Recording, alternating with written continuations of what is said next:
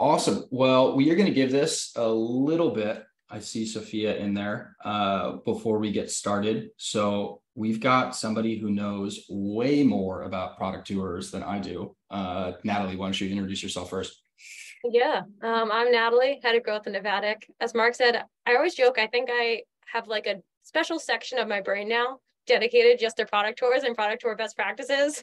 the amount I've made, seen, analyzed. So I'm glad that this endless knowledge just stuck in my brain can uh, be useful.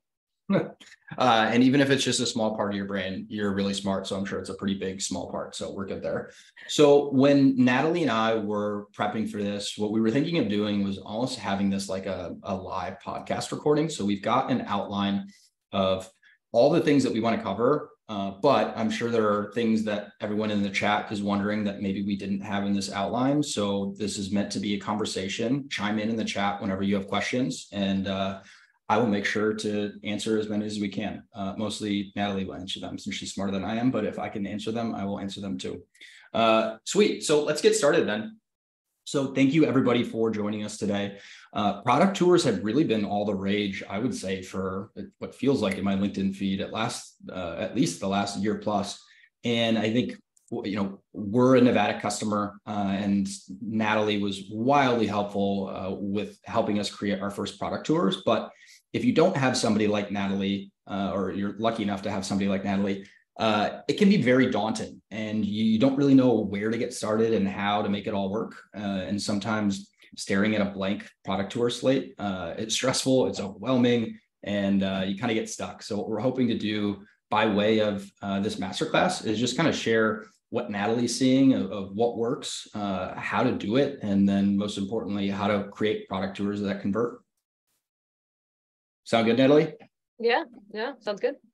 So let's set some context first. And thank you for suggesting this because I totally missed this part when we were preparing for the, the outline. So, like, why do people need product tours? I think, you know, some companies have videos on their site and they think they think that they're good enough, but like why is a product tour the right move for B2B marketers? Yeah, I always equate it as think of yourself as a buyer like that's actually how I first got involved in Navattic was I was a common buyer of software and was just so sick of the process. And now think of how many prospects that you have that have gone through the same thing, like long times to wait and actually see the demo or just no product information besides some blurry screenshots on a website. I think we've moved into a phase where we're all expert buyers, right? Like we all learned during COVID how to basically become little detectives and do our own research. So rather than gating as much as possible from the buyer, it's basically just like why need product tours so we can let them buy the way they want to buy. And i think one of the things that i had to try and get over personally at metadata and then i definitely had to convince a whole lot of people at metadata to get over as well was this. You know you add a product tour you're essentially showing off your product on your site and anyone can see it including your competitors. So how do you help people get over that hump too yeah, I hear that a lot. I think the first thing I say is like, one, think about how much you already know about your competitors. Like, I know I've seen demos of my competitors, I know their pricing structures. Like, you just kind of you, find a way to gather that information. But on top of all that, product tours really should not be the full product. If anything, I was using this metaphor the other day, but it's kind of like an appetizer, right? Like, it should be small and enticing and get you excited about the main meal or the demo in this case. But I haven't eaten lunch, so now I'm even more hungry than I already was. But keep going. Yeah, exactly. Just like a little taste, something to get you excited. We've heard customers say a little snack before, which I thought was so cute. But really, are, and the data also shows that our best performing demos are about eight to 15 steps, which is about 30 seconds to a minute. So you're not showing your whole product in 30 seconds to a minute. What it is doing is it's just validating to the person, okay, this does what it says it does. I get a high level understanding of the value it checks the boxes okay do want to move forward versus like i feel like sometimes we've all signed up for a product and then we got into the demo i'm like whoa this does nothing. I imagined i entirely misinterpreted this and i just wasted two weeks trying to figure out what this does. No who's ever done that? I've done that a lot. Uh yeah and i think for me like when i was you know doing this at metadata I was looking at it from the perspective of let's try and weed out the wrong people up front by having this product tour on the site. Like, yes, you want to attract the right people and get them to convert, but you want to show off enough so that if it's not right for somebody, you're not going to waste their time. More importantly, you're not going to waste your sales team time, and you're you're getting the right people to to book a demo at the end of it. So I think there's a, a win-win on both sides. Now, one thing, and I'll I'll answer this after I ask you this uh, slightly harder question, but one thing that everyone is probably thinking right now is, will my sales team be okay with this? how do you you know convince sales that hey we're not going to steal your thunder because it is a, a, common objection that that we got at metadata and i know that many other b2b marketers get too so one thing that's funny is we often hear marketers say this and then marketers bring it in house and then the sales team especially like specific bdrs will start just picking it up. Because they've heard you know they reach out to a customer or they reach out to prospects and they get a response like okay but what does your product do? Send me a one pager show me what it does. So BDRs get really excited because instead of just a generic one pager, it's like, okay, no, I can actually show you. And generally what we recommend is if you're really hesitant, like give it to a little, I call it a little tiger team, like give it to a few BDRs, sales reps, AEs that are really excited, let them use it a few times, show some data that, okay, one, this didn't scare off prospects, two, these were faster sales cycles, or we got more meetings booked. And then I think it gives everyone a little more comfort. Um, but on top of all that, like I said, I think you put it perfectly. We're like, this should get the best fit customers to you. It's going to eliminate the amount of time you need to spend on those first meetings, just giving a high level harbor tour and actually dive right into the value on that first call. And as everyone's like looking to be more efficient, I basically just make sure the best customers get to you faster. So it's funny that the way that you started your answer, because that's exactly what happened here at Metadata. I kind of got in my own head of, hey, I think this is going to piss sales off. We're going to ruffle some feathers. I'm not sure if they're going to be okay with this. And when I went to the core kind of Tiger team, I have a um, probably about three to five AEs that I work with to test things out first. They were all super excited and I was not expecting that. So I think, you know, B2B marketers are guilty of this all the time of kind of getting in their own heads. I wouldn't necessarily worry about that as much. Now, you've got to make sure that sales uh, is aware of this uh, when you're putting it on the site. I'm not suggesting that you do it blindly, uh, but uh, don't worry about uh, stepping on their toes too much uh, if you do it well. And we'll get into how you create a product tour that can actually convert right here next because you got to guide people a little bit. You got to give them just enough of the appetizer. You don't want to give the main entree. If you're giving the main entree, then you probably will piss your sales team off. Uh, I definitely would not recommend doing that. Uh, but we'll get into the appetizer here next. So, getting started, I remember, you know, getting the kind of the mandate from up top that we needed to add, you know, product tours to our site. Um, but I didn't really know where to get started. It's like you know your product well, but then how do you explain it very succinctly in you know uh, a clickable like short interactive tour? And I really didn't know where to start. So I'll chime in with some of my own experience at the end. But how do you recommend people get started? Where should they be looking at? Like what's step one and two? Yeah, this is actually a good opportunity to loop your sales team in a pretty like organic way and get a little more of their buy-in. Is just ask them, you know, if you could only show two things on a demo, what would you show? Or like, what are the two moments in your product that makes prospects face light up the most? And if you're PLG, you could also use like event data for that. You could see what are the features that are being used the most. But then one, again, you kind of got the sales team looped in, but then you have an idea, okay, these are my main aha moments. And from there, we recommend storyboarding it out. So it's kind of like making an outline, a little presentation before you put, you know, what am I going to show, what I'm going to say with it. Get that approved internally. Again, another way to ensure that no one's going to get angry that moment you hit press it live like get get the kind of the outline approved internally and then from there do some polishing get some feedback and you can put it live. But i think really going that first step and figuring out know what are the most important things to show reduces a lot of time on the back end where you're not just like chopping because you realize you made a 50 step tour with way too many things. Are you talking about the first version that i made? Uh, you might be. Uh, no but i i think it was 49 uh, so i think like for me, staring at the blank slate was overwhelming because there's so much that you can show. And obviously, for everyone here, if you're not using a product tour tool, check out Navattic. There are others out there, but we're not going to talk about Navattic specifically. Um, for me, it was part getting familiar with the tool itself from a technical perspective while trying to figure out the storyboard too. So I think just the way that I learned, like I dove in like head first into Navattic as a tool. Uh, I spent so much time in there, and then as I figured out how to use it, then I, you know, figured out what I should be doing from a storyboard perspective. Uh, the next product tour that I create, I will definitely be storyboarding because that is where I think uh, you can get yourself tripped up if you don't really know what you want to show, why you want to show it, and how to show it. Uh, versus just like, oh, let's add this, let's add that, and then by the time you're done, you get to you know a 50 step product tour. Yeah, two quick things on that. One is I'd always recommend, like you said, like build out a short one first, like choose a specific feature or just build one. And then from there you can iterate. I think sometimes people are like, oh, I have 50 ideas and I want to show every part of my product. It's like, no, no, no, just choose one thing, figure it out, build it so you can get an idea of the product. Um, and a little like cheat that I've been using recently is I actually I don't mean to be like one of those people who's talking about AI a lot, but the one thing I use AI for is I will summarize demo videos or product videos. I use this cool tool called Summarize AI, and then it creates an outline of it. And then that I've used as my outline for demo videos. So if you're like really, I know we're I'm, I'm stealing this. I didn't even know about this. So I'm yeah. learning something. um, that's kind of also a good way to like get maybe get like three of your AE's best demos, make those into little outlines and then be like, oh wow, this feature came up on all through these demos. And here's a nice little like snippet of how they explained it. So that's awesome. Uh, and I have, I actually have signed up for that tool. Uh, I've, I've meant to use it, but I'm kind of on AI tool overload right now. There's like so many tools that you can use, and I have no idea how any of them work right now. So uh, that's a personal problem. I'll figure that out. So let's talk a little bit more around the strategy around product tours. And I can pull a little bit from my own experience, but like there are different types of product tours from a technical perspective. So can you kind of share a little bit about what those are and then I'll chime in with my own experience?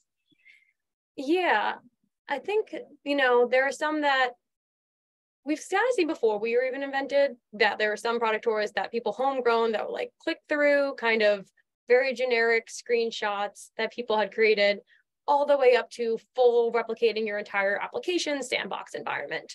Um, obviously, what we specialize in is somewhere in between that, which is, you know, more that marketing use case. Like that's what we see most, like actually putting on your website, like I said, giving that little appetizer sneak peek, where it still is cloning the HTML and CSS of your product. It looks and feels like the real thing, but it's not necessarily screenshots and it's not necessarily like, oh, an entirely open sandbox.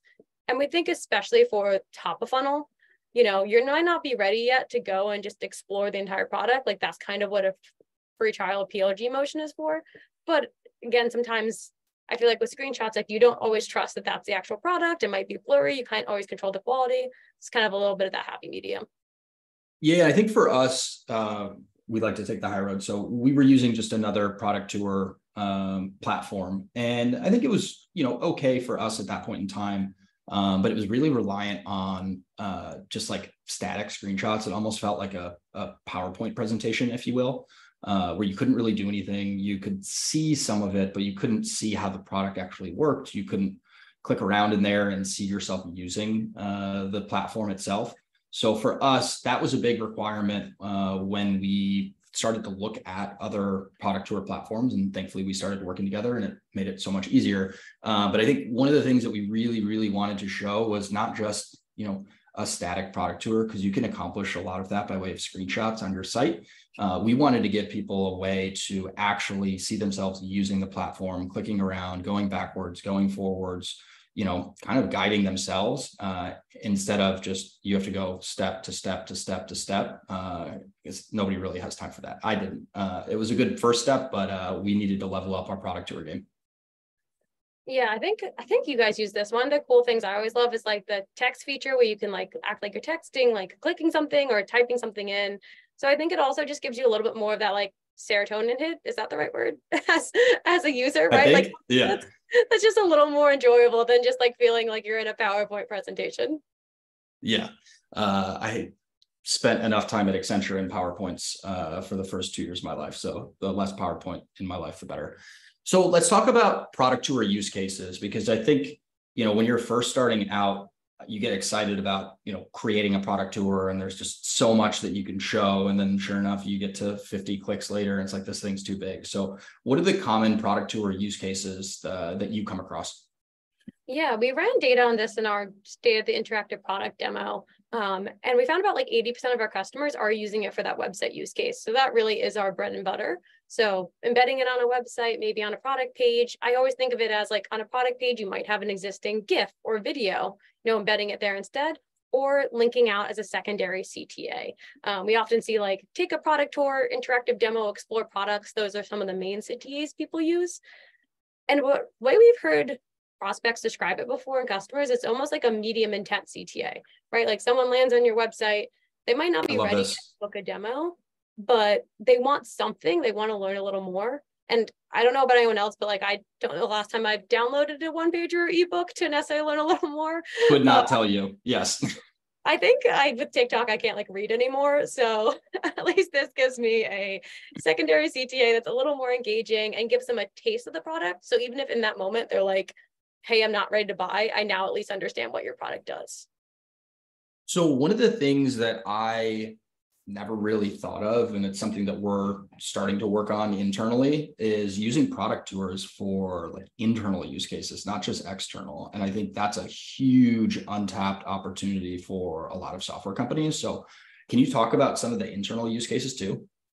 We've seen that a lot with like um, feature launches or product launches. So especially because the nice thing about this is you're just cloning the front end of the application. So let's say that you have a product feature in beta. Sometimes maybe if it's a little buggy or not fully working or just kind of complex, right? You don't necessarily just want to give the whole company like, hey, have beta access to it.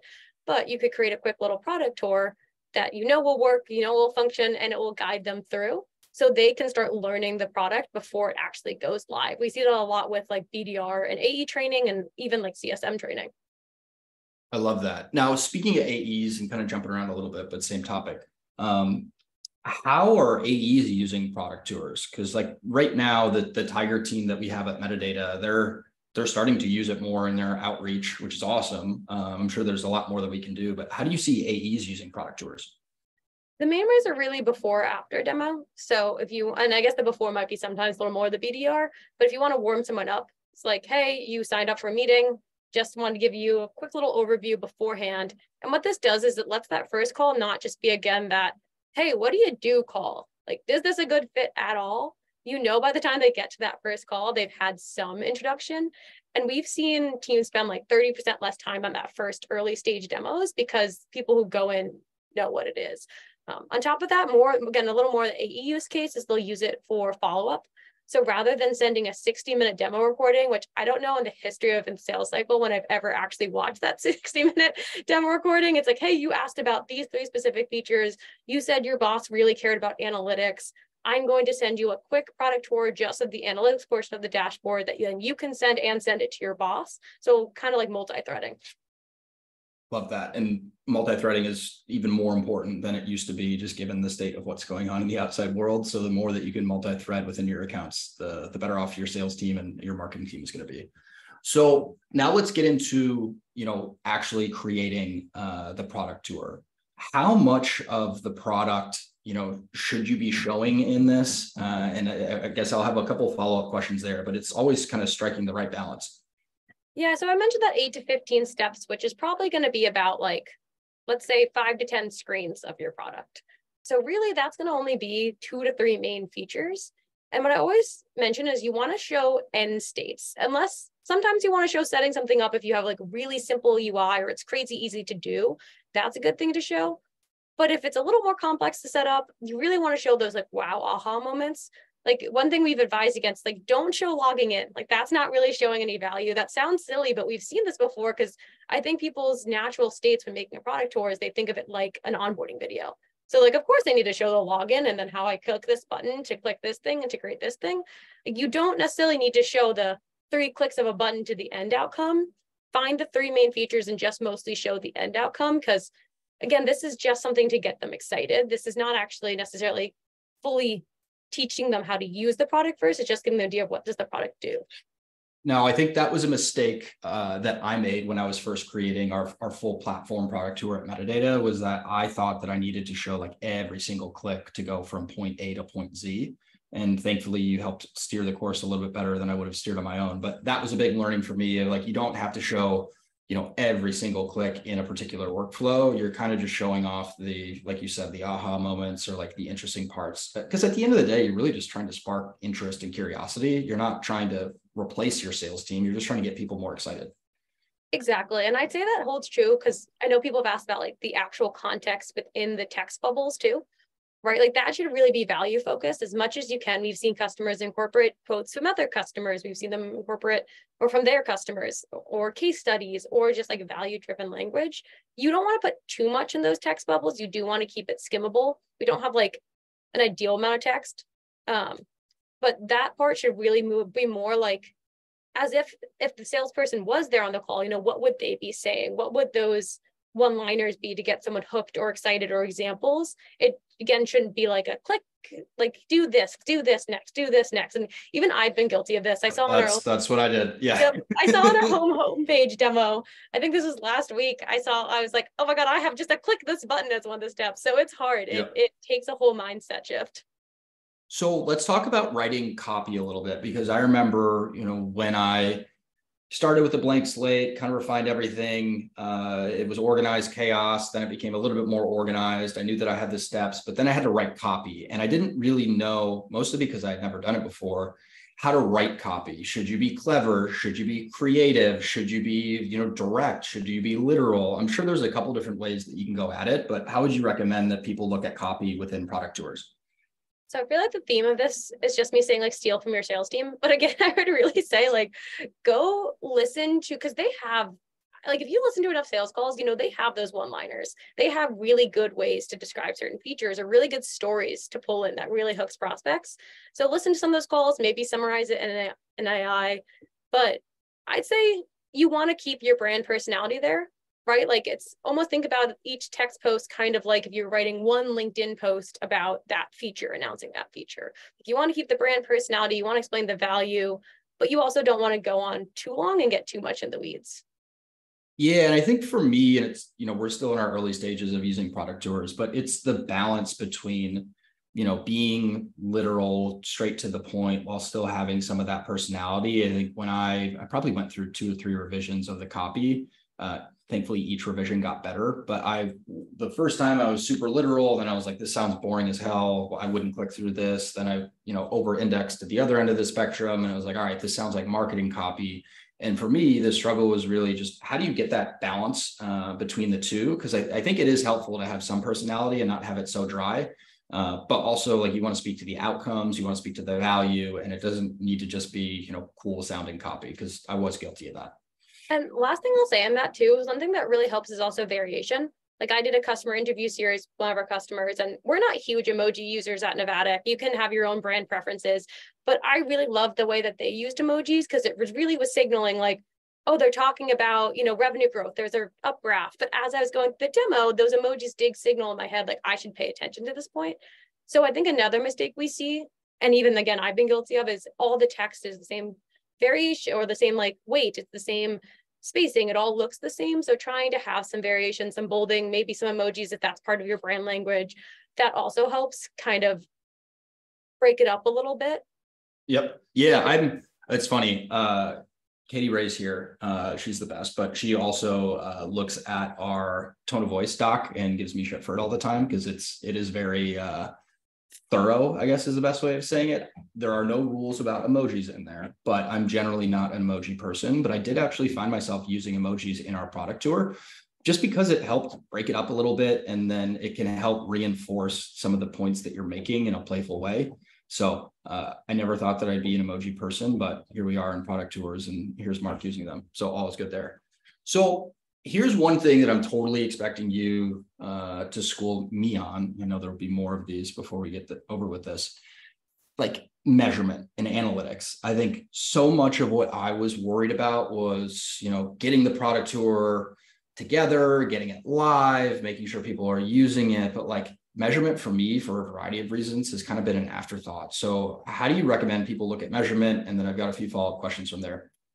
Yeah, this was I was going to say this next as far as like copy and how does do I know if it's too long? I think the biggest thing is get something out there that you feel comfortable with, that you've gotten approved. And then after probably a few weeks, maybe a month to be safe, depending on how many website visitors you get, We don't have a magic number, but I would say I feel pretty comfortable with like 100 people viewing it. Um, see what the drop offs are. And you should be able to see that from you know, within that actual demo, you know, how many people are making it throughout the steps. If you're noticing a huge drop off around step seven, maybe that copy is not enticing. Maybe that's a difficult, you know, maybe it's like a weird way you position the modal and it's not as intuitive. So really look out for that. Um, and then on top of that, you know, comparing if you do have maybe multiple projects, maybe you created from from different product pages, comparing across the boards, okay, which ones are getting the most visitors, which ones are getting highest completions and conversions. And then you can maybe see, you know, did I design this demo differently than this demo? Or maybe that's even a product indicator of like, hey, this one product page gets a lot more conversions than this one. Like maybe this is clearly the market is super interested in this product. So I imagine, you know, it's dependent on getting enough data and enough is going to vary depending on traffic and how many people are actually, you know, starting the product tour. But as a general rule of thumb, do you think people should look at, you know, two months or not two months, two weeks, you know, maybe a month, uh, maybe a little bit more than that? Like how soon before they jump in and maybe start re-architecting things too early? Because marketers love data and I know that they want to optimize things. Yeah, I'd say, like I said, about two weeks to a month and then about 100 visitors. But I will say is if you're not, you know, compare that to your website traffic too, right? Like if you have a really low, like if you have a very small niche ICP, you might not be getting as much website traffic. So everyone knows their own thresholds. But if you're a weekend and you're noticing it's significantly not getting any traffic, that also might be a place to consider like, did we put this in the correct place on the website? Like one point that I was going to mention earlier is we've seen demos that are above the fold get 3.5 amount the engagement as demos below the fold. So wow. maybe don't, you know, tweak too much just early on, but it would be good to check in a week after and say, you know, is this getting eyeballs? And if not, why? And maybe can we make some adjustments there? Because if you're not getting any eyeballs on it, what's kind of the point of having it? So unplanned question, but I know you'll nail this one. So it's talking about eyeballs and trying to get more eyeballs on it. So how do you recommend that people promote product tours so that they can get enough eyeballs in the first place? Yeah, we've seen a lot of customers, and this kind of goes also back to the question of like maybe your sales team isn't fully comfortable putting it on the website just yet. You know, putting it in, you know, email campaigns, LinkedIn campaigns, ad campaigns. One thing I love is super easy you can do right away is add as a site link on your Google Ads campaigns. So it's across all of them. It takes about two clicks. I'm gonna, I'm gonna do that after we get off this. I'm not doing that, and I'm disappointed in myself. But keep going. Um, I've seen that that's been one of our highest converting site links, and it makes a lot of sense, right? Like especially for those high intent keywords. So start just putting it in places. I always say that you might already have an existing product video, or that you might be listing to an existing product page. And then that's when you can start getting that data, seeing what works, and then that might be more comfortable to then go put it on the website.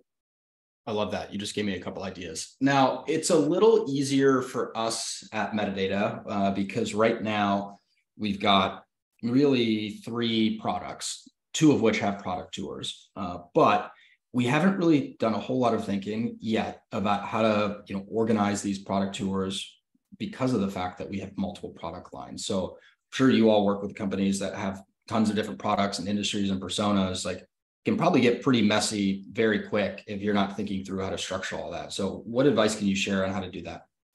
Yeah, I think it depends on how many product lines you have. So the very simplest version, if you, I say like if you have two main ICPs or different personas. So one great example I like to give is Qualifees, a company of ours, their recruiting platform. They have a very different product for the recruiter versus the candidate. Be a very different experience. So they start their demo with just a simple question, are you a recruiter or a candidate? And then depending on what button you click, you'll get a different experience. So if you have that type of dichotomy, like two really main but very different personas, I think the branching buttons at the beginning does well. I think once you get past like four or five, the branches, it can get a little overwhelming. That's where what you guys do, the checklist can really come in handy. Um, and we have seen checklists improve completion rates by about like 17%. And I think it's just because our brain likes to check things off, right? Too. Yeah, you feel like you're accomplishing something and it's like, all right, I'm making progress. Exactly. You're like, I want to explore more. I want to feel like I'm seeing it. Um, so that's a good way. That's just a little button on this bottom where it pops up and shows you all the different options. Also nice as a prospect because you might come in looking like, for example, one of our customers, Ramp, you might come in just looking for a card and then you go to their little checklist and you see, oh, they also have accounting functionality. I didn't even know they had that, but I need that. So a way to explore. Um, and I think my favorite option for how do you show different product tours and one we're seeing pop up more and more is a demo library. So right, basically, keep talking about this because this is what I want to get to. I'm very jealous of companies that have product tour libraries. So take it away. Yeah, this is basically a landing page on your website that just has, let's say, we've seen usually it's about six to nine different demos of different feature functionality. Again, usually the individual demos are only like eight to 15 steps. And the really elite demo libraries will also have filtering functionality. So if you say like, oh, I care about this industry or these this use case or this problem space the most, you can go to that page, filter it down, kind of like a really good, the way I think of it, it's a really good um like blog where mm-hmm. they have, you know, a bunch of blog posts and then you can filter to exactly what you want. This kind of looks the same where you can filter it down and just say like, okay, these are the exact features I'm looking for. Now I can go click through a 15 step, 30 second demo and then easily explore other ones.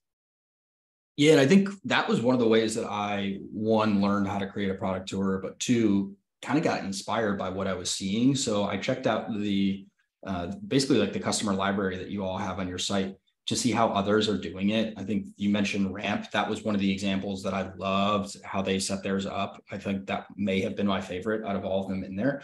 Um, but it's one of those things that, like most things in marketing, there's a million different ways that you can skin this. There's not necessarily like a right way or wrong way. But I think for me, by looking at all those different examples in the library, I was able to kind of pick the the best of each of them of what I liked to kind of form into my own. Uh, so that was a super helpful starting point, and I think something that helped me get unstuck uh, because I was very much stuck by myself of overcomplicating things and uh, getting way too excited. Yeah, and anyone who's talked to a team is probably like sick of hearing about some of these examples. but if anyone is working with the team, they know that we're happy to share customer examples, even if you ask like, oh, I'm interested. Do you have a demo that shows this? Or for this use case, generally we have something we can pull. And for the people who are uh, here right now, make sure to drop questions in the chat. We will definitely cover them too. I know that Natalie and I are we're good at talking and can probably talk for way longer than the time that we have, but we want to make sure that we're helping everyone here who's attending.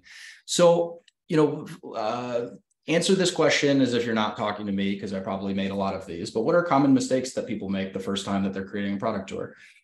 Um, I think one mistake we see is people want to do too much at once. Like they get so excited and they're like, "Oh, I'm going to use it for every single use case. I'm going to build it out for every single product." And as we talked about, eventually get there, definitely.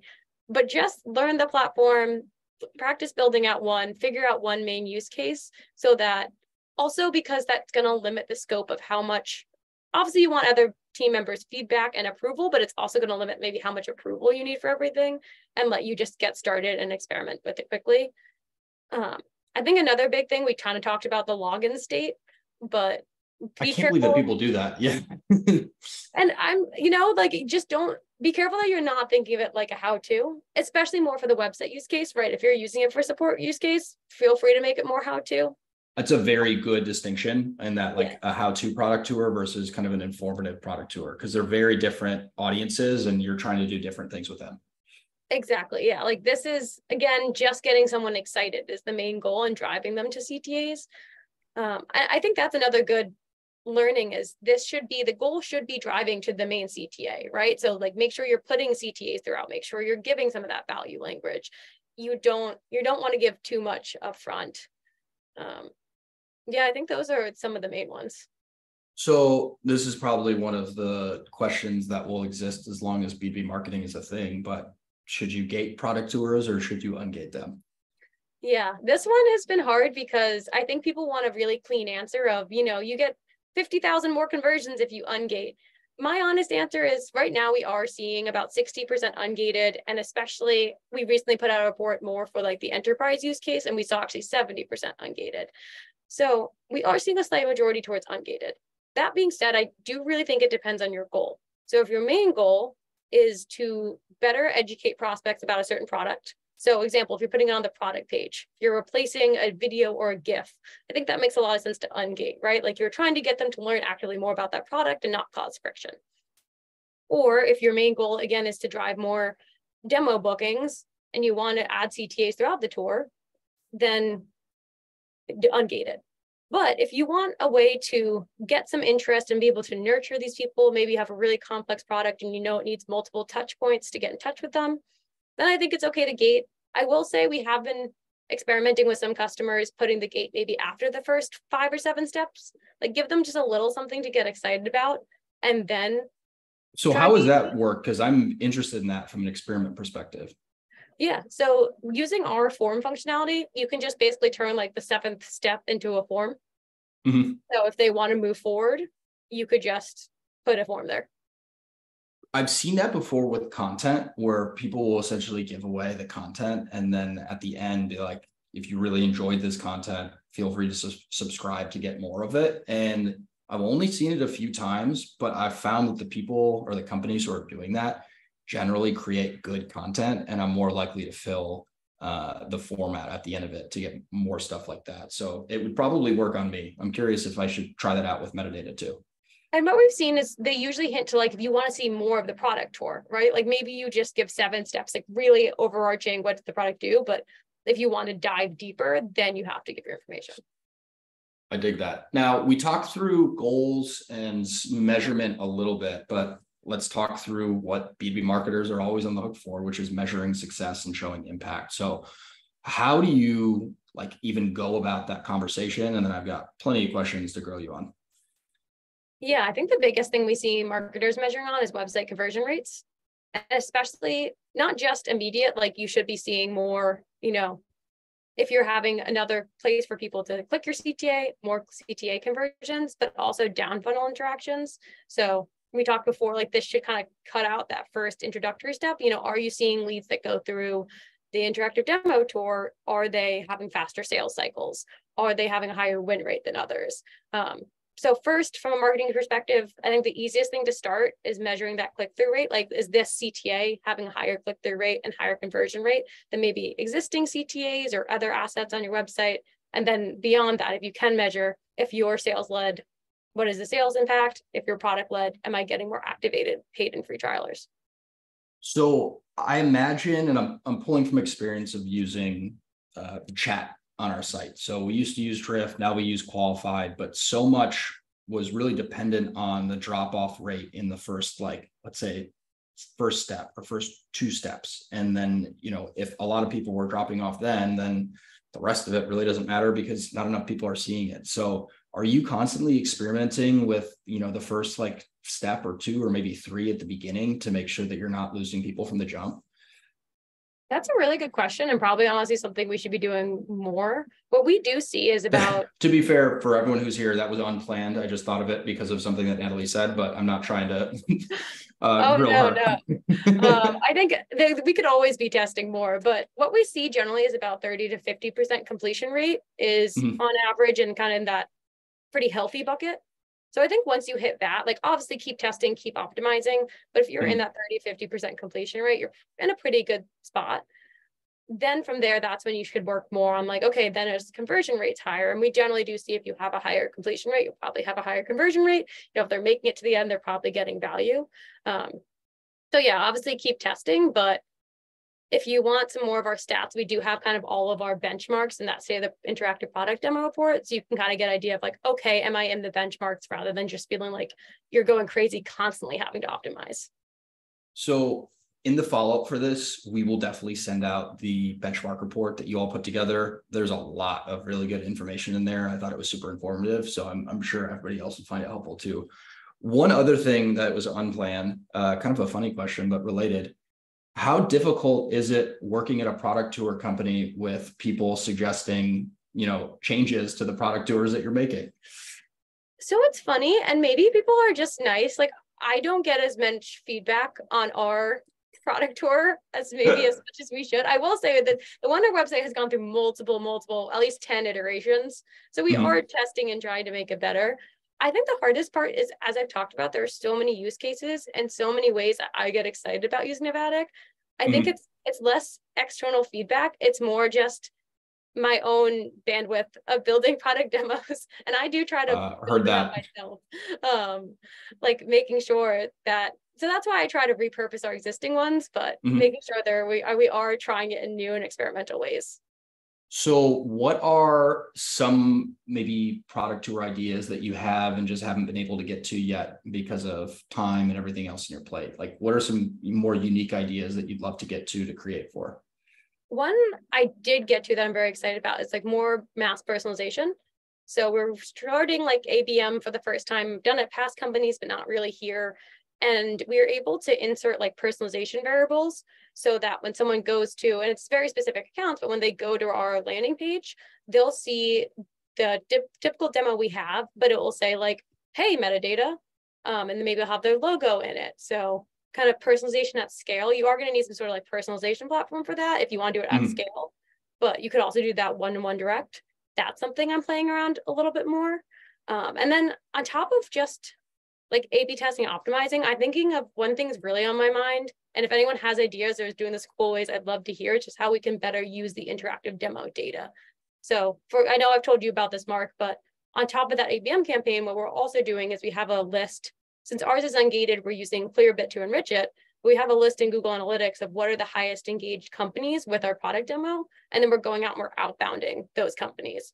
So I think that's what's getting me really excited is like, this is basically a whole new level of intent data that's way more intent than someone just Googled a keyword.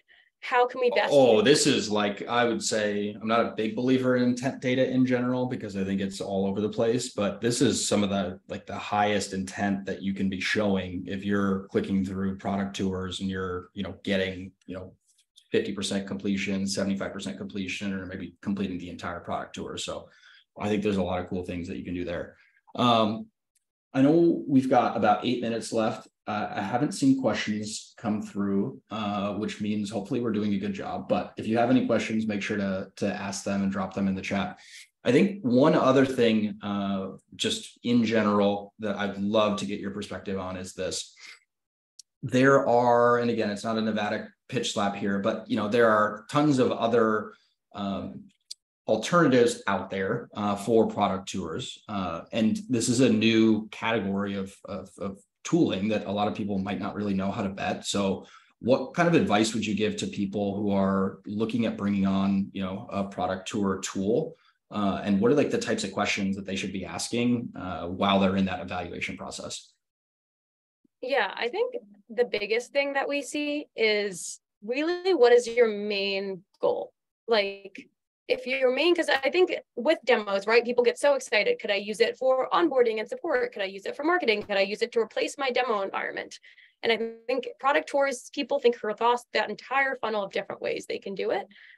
But ultimately like there's at least and i'll even say like as someone who works at a demo platform i don't think anyone can solve every single use case perfectly right? Like it's still a relatively new market. And i don't think if you're solving every single five different use cases perfectly, you're probably not solving anyone. I don't know what's better than perfect, but amazingly. It's um, like a so, restaurant that has 900 things on the menu. It's like they don't really cook any of them well. Uh, maybe start a little bit smaller. Exactly, exactly. We don't want to be, I don't know. Like the cracker barrel of product tours. Yeah. Yeah. I don't know why that one came to my head. Maybe I it Friday. But so figure out what the main goal is.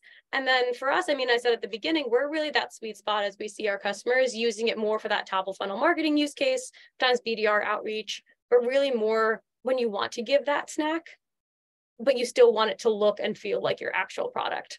So if you're like, no, I want an entirely live demo environment to replicate it, um, my that my sales team will use, you know, that's a bit beyond. If you're like, no, I just want some screenshots, because I'm just, you know, I just created this product. That might be a little beyond in the other way.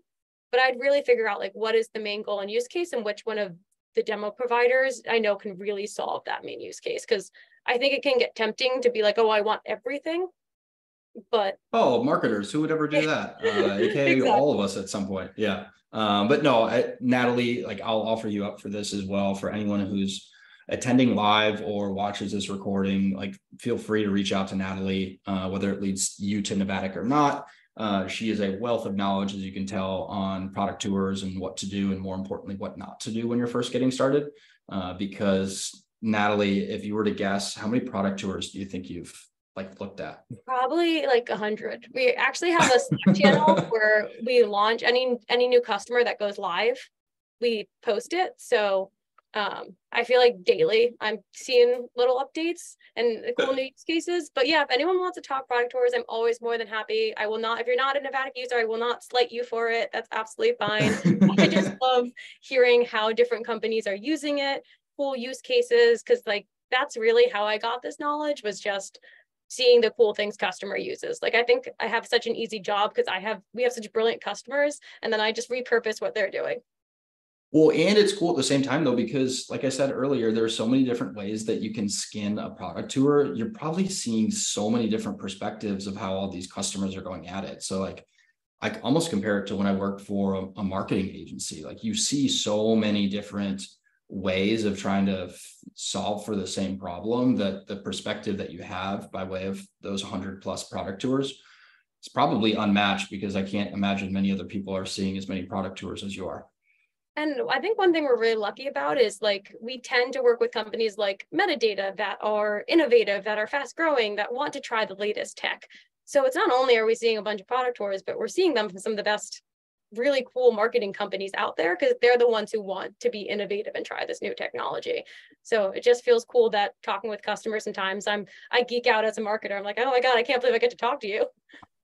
Uh, I did not pay Natalie to say that, I promise. Uh, but no, we are pretty much right at time. Uh, I'm out of questions. Uh, I feel like I've learned a bunch here, which is the whole intent of doing these master classes. So Natalie, thank you for joining us and thank you for sharing uh, everything that you've learned with product tours. I know I took away probably at least five ideas that I'm going to try out here in the next week or two. Awesome. Yeah, like Mark said, if anyone has questions, please feel free to, you know, find me on LinkedIn. I'm on there way too much than I should be, but you know, that's being a marketer these days. Amazing. All right. Well, thanks everybody. We'll make sure that if you were here live or you, you were not here live, you will definitely get the recording. Uh, and uh, we'll see you in the next Demand Community Masterclass. Thanks for coming by. Thanks, everyone.